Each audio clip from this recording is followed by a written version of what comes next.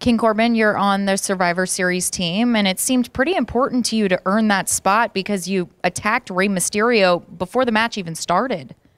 I, I was just helping uh, Rey warm up a little bit. It was just to to help him get ready, get his mind right, and I guess guess I didn't help him enough. There seems to also be some tension between your teammates already. What do you say to that? Well, you know, I am the king, and they will fall in line. My teammates will do exactly what they need to do, and uh, you know, really, the fact of the matter is the king is in this match, and he's really the only one that matters. So I will get that job done at the end of the night.